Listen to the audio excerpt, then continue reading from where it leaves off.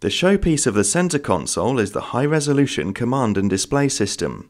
The touchscreen features the optional advanced dual view technology, allowing the driver, for example, to use the satellite navigation system, while the front seat passenger can watch TV or a DVD.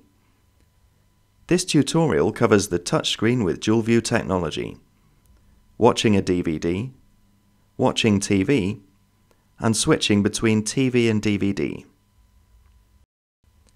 To watch a DVD, you must first switch the audio system on and load a DVD into the CD-DVD loading slot.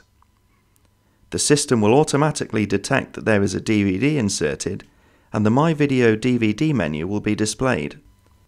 Touch the Seek Up or Seek Down soft keys to skip to the next or previous DVD chapters respectively. Touch the Stop soft key to pre-stop playback. A second touch will stop and reset the DVD. Touch the Play soft key to resume play. Toggle between single and dual view screen by pressing the dual view hard key on the fascia. When drive is engaged, the driver will be able to operate the menu system as usual. To watch the TV, first press the audio video hard key on the fascia. Alternatively, touch the Audio Video soft key from the Home menu. Next, touch the TV My Video soft key to view and select either digital DTV1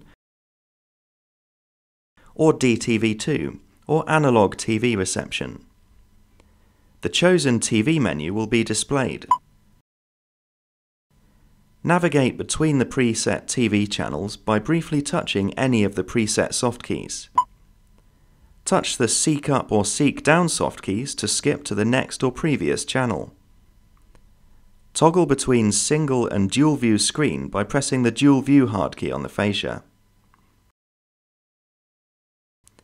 When drive is engaged, the driver will be able to operate the menu system as usual.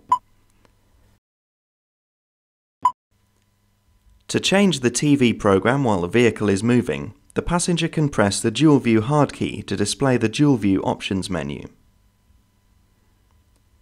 If the passenger is watching TV and wants to change to DVD while in dual view mode, firstly press the dual view hard key to display the dual view options menu.